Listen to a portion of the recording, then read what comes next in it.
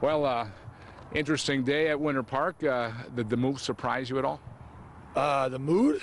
The move. Oh, the move. move. You got a new quarterback. Oh, we have a new quarterback. Yeah. So, uh, yeah, I gotta be honest. I found out about it last night. I just, you know, as I was coming out of the woods, and um, yeah, I was, I was a little shocked. I, I, did, I didn't really know uh, what to expect, but uh, it's the NFL, and these are revolving doors, and uh, you know, some people, you know, people uh, get.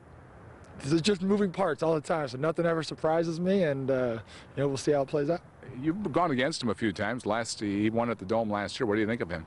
He's a big guy. I, I, I don't know him personally. Uh, you know, he's obviously a big quarterback. He, obviously, he's talented, a first-round pick, and um, you know he's had some success. He's had his ups and downs. I think just like, you know, uh, probably anybody has throughout their career. So, you know, it really, I'll, I'll get a proper judgment on it when when he comes here and see how he fits into our system and how we go forth. Um, so, you know, it's not our call. We we just go out and play with whoever uh, is is put in the into the positions. Is it a good message to the team? Kind of the message that we'll do anything to make this team better? Um, yeah, again, I, I don't know. I mean, I don't think we read into it that much. I think, you know, an opportunity came. They saw somebody that they viewed as having talent, and, and obviously they viewed that could help us, you know, be better, uh, you know, and, and, and they went with it, you know. Um, obviously, it, it's tough on you from locker room's perspective, you know, we all have relationships with Christian and Matt, and and so you know now we'll all have to form a relationship with Josh. And uh, but again, it's not you know, coach put I think coach put it the best way. It's not for us to worry about. You know, it's that's that's their that's their decision. That's part of their job. Our job is just go out and and and do what we do. My job is to be the best defensive end I can be. You know, whoever's going to play quarterback, that's who's going to play quarterback. Uh, I bet you hated to take the bye. You you kind of had a great game in London. I did. You know what? It was it was a good game, and uh, we're rolling. But I, it was it was nice to get some rest and uh, and come rested up. We have a, we have a tough task at hand. Uh, Jordan Gross is a good tackle, and Cam Newton is an, an athletic, big, good quarterback. So uh, you know we gotta we gotta get a win here in the dome and. And, and get this thing, you know, snowballing on the victory side a little bit. You did so well that they traded for a left tackle after your game. Oh, did they really? I didn't know. I honestly, I didn't watch one game over the bye week. I didn't, I didn't do anything football related. So, uh, you know, I, I, this is all news to me. But you know, uh, yeah, you just go out there, and, and, sometimes you get favorable matchups, and you just try to. Uh, I'm just trying to be aggressive in what I do. You know.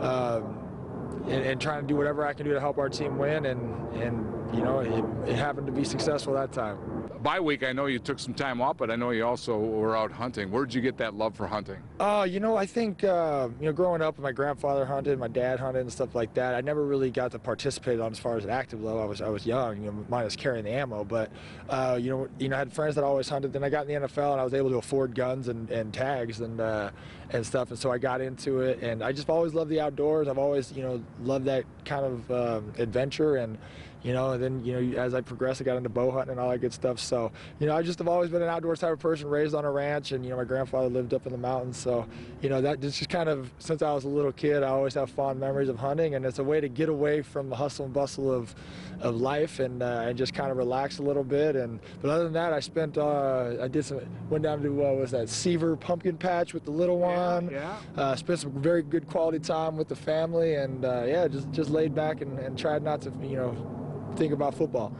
Um, is hunting at all like football? Can you make a comparison? No, you know, people always try to make it. It's completely different. so, there's some strategy involved. You're going after something. Yeah, there's strategy involved, but you know, you out there, adrenaline's you know works against you. You know, it's just kind of quiet and it's just focused on the task at hand. Trying to, you know, obviously you're trying to outsmart your prey, uh, it being in their element, you know.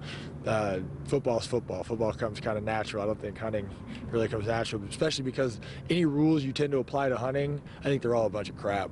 You know, you can have cold weather on a, you know, sitting on a path where by water, by food, and you won't see nothing. You can walk out and you can be fully camoed and nothing goes right. You can walk out in shorts and flip flops and there'll be a deer standing right there. What the heck? it makes no sense at all. But uh, at least with football, you're there's techniques and there's strategy, right? I guess with both, but. um, I know you used to do a little outdoor show, so I mean, this is something you kind of yeah, a little TV uh, too. Actually, still, yeah, I still own part of Relentless Pursuit, and um, you know, it, it, was it was fun. You know, though, when you're when you're when you're always filming something, it kind of takes the love away from it because you know you're, now you're trying to get shots, and I just like to be in the stand, I just like to be hanging out, listening to sounds. Like last night, I heard a bobcat tearing apart a rabbit, and uh, it was vicious. And I was like, "What the heck?" But it was kind of cool because you don't never, typically get to hear those kind of things. Heard some, you know, coyotes and wolves howling. It was good stuff. Music to the ears, huh? yeah, right. Bit gruesome, but again, it was an experience. Like, huh? You hear, you know, we hear predator calls, which is basically a, d- a distressed rabbit. They call it, right? It's politically correct for dying rabbit.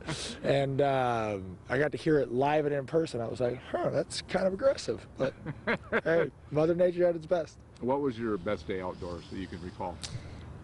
My best day outdoors. Oh goodness, you know, uh, whew, one of my best days. I mean, I guess probably anytime you're successful on the hunt. Everyone's great, but uh, getting my bear up in, um, I got a I got a bear up in Idaho a few years back. That was a fun hunt. Came around the starting, sun was starting to go down. About ready to call it off. Came around the corner. It stood up, dropped to a knee, dropped it, and then uh, drove my RV about 1,500 miles and went and married my beautiful bride. So that whole week was just amazing. Oh, one last question. You got that beautiful little baby girl. Are, are you going to teach her how to hunt? Oh, absolutely. If she wants to, you know, I feel like, you know, I'm not, I'm definitely not like a parent that's like, oh, I need a son to go do that stuff. Absolutely not. My, I hope my little girl wants to hunt, fish, and I'll probably be at little fashion shows and, you know, dance class and all that stuff too, you know. So whatever it takes, What goes well with camel? everything. It's a universal color. Well, here's the problem. If you dress your daughter in camel, you won't be able to see her. Uh, you hear them though. That's probably, that's probably a bigger issue. All right, Jared. Thanks. Thanks a lot.